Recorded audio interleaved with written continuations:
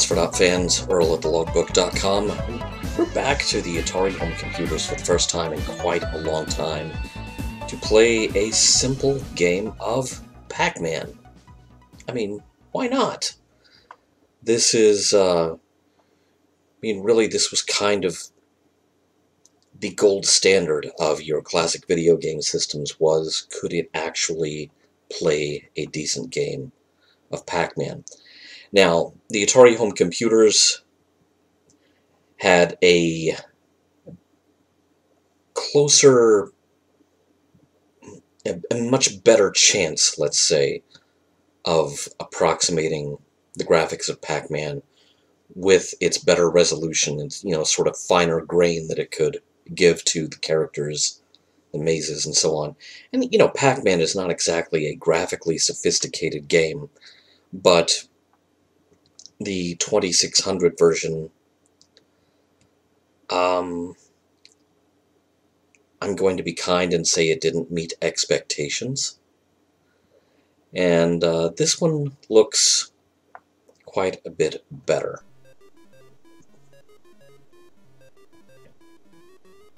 Certainly sounds better.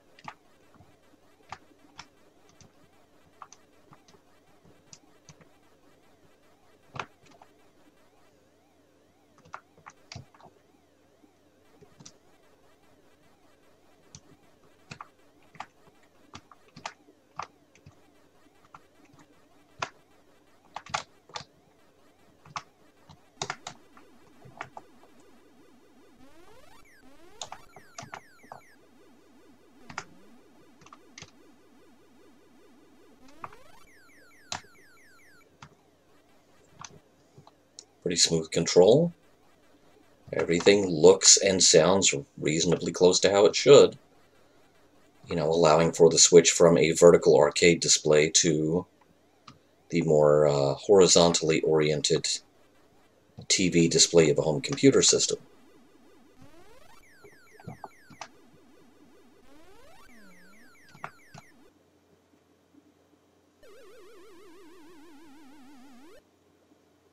Blinky got me.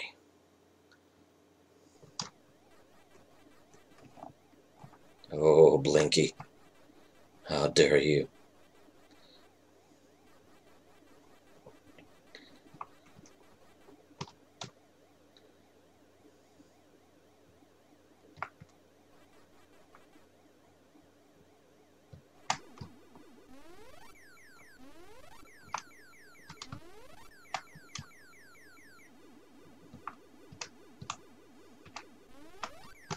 Yeah.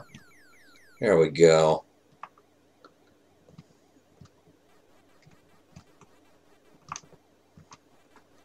Come on up here, guys. Let's do it again.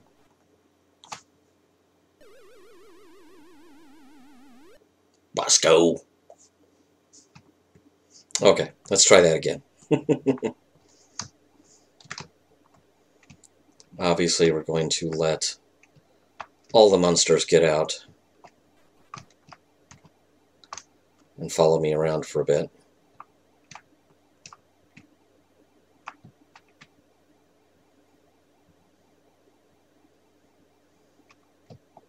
Hey, dudes.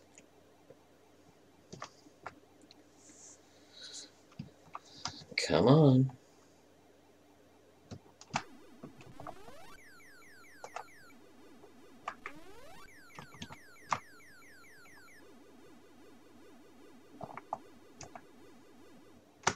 Oh, let's not and say we did.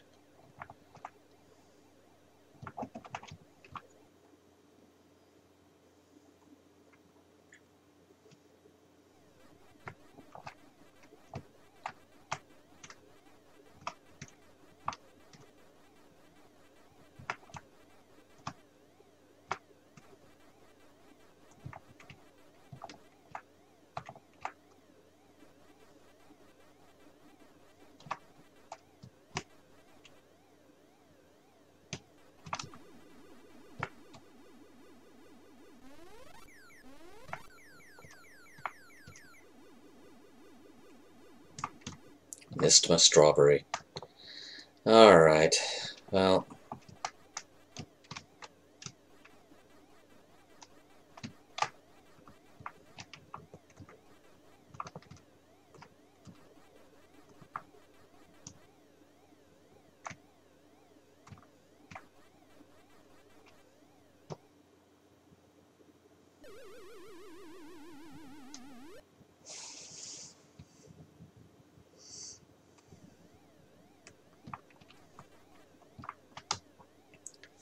Fortunately, I got an extra Pac-Man somewhere in the proceedings.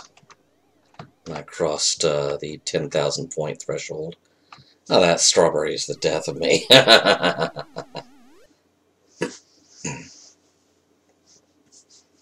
so, uh, yeah, a very, very good translation of Pac-Man. Much better,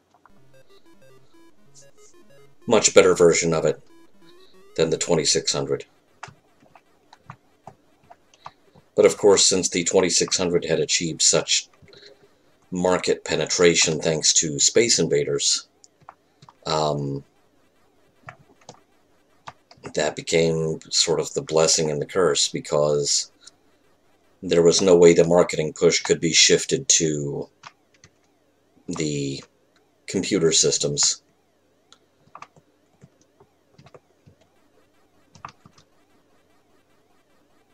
Or to the 5200. Uh, the 5200 version, I believe, is substantially similar to this one. Maybe we should play it.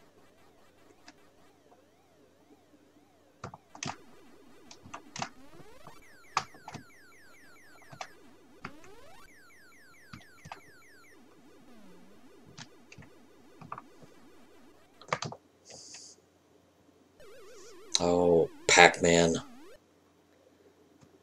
To go do it, didn't you? Mainly because I told you to.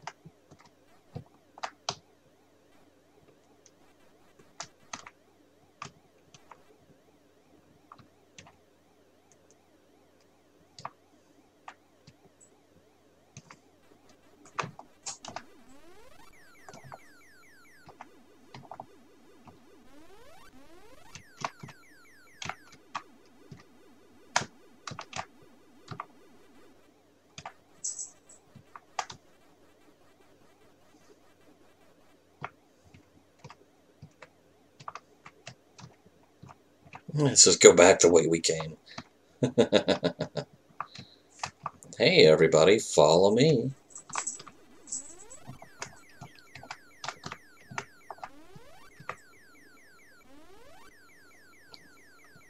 Can I do it? Can I do it?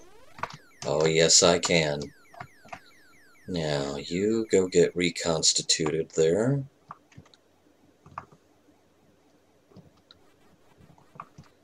I'm going to clear out those dots. Y'all follow me.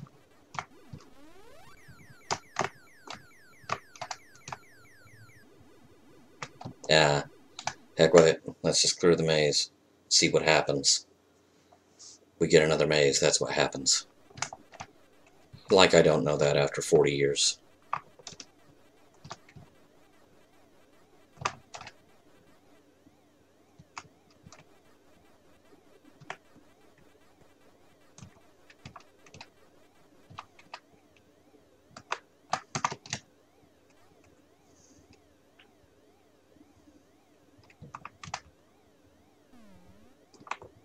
Woohoo, strawberry.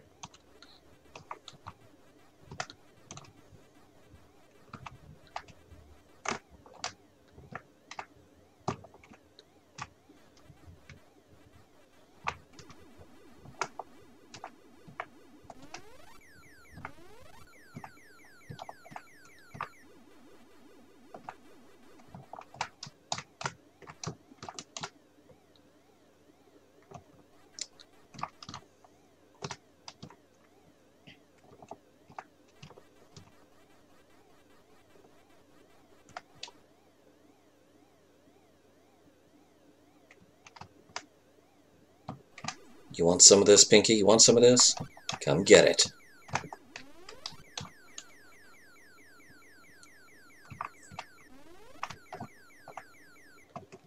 Who else wants some? Okay, bad time to ask. Now everybody wants some.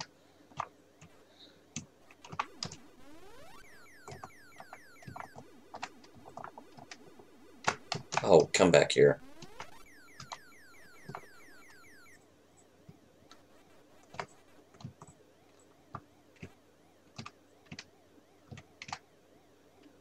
Oh, no, you don't.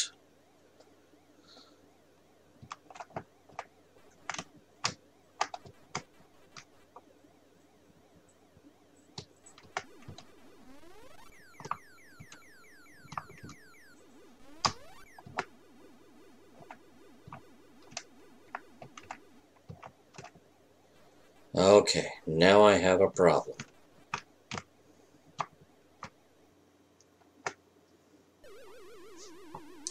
Namely, I'm dead.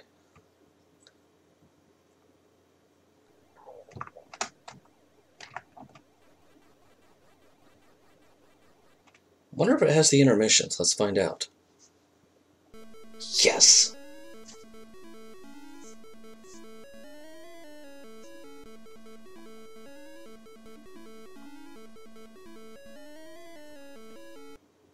Another thing that the uh, 2600 version obviously didn't have. I mean, come on. the 2600 version sounded like a touch-tone phone and didn't even have actual uh, music. And the funny thing, and I should play this sometime, is there is a fan-made version of Pac-Man for the 2600 that is much better than the version that Atari released, but Atari wanted to keep costs down, and so it enforced Tod Frye a you know fairly strict limit on the amount of memory he could use which is how we wound up with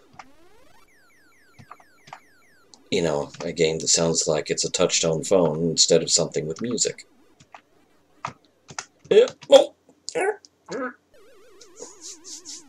Nope. Alas, poor Pac-Man. I knew him well.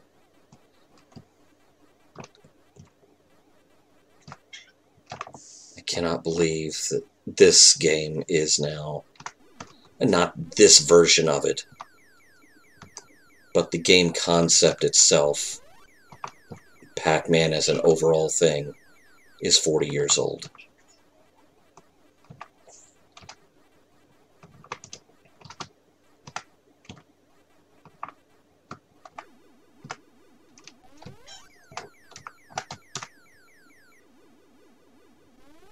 That means, sadly, I'm even older.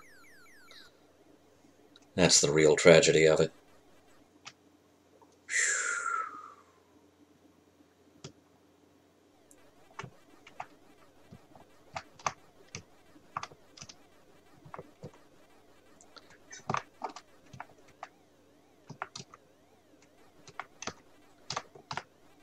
Pace is definitely picking up.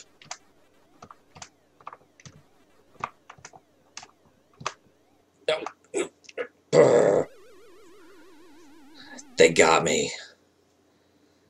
Alas, poor Pac-Man, but he fared much better on the Atari home computers than he did on the 2600.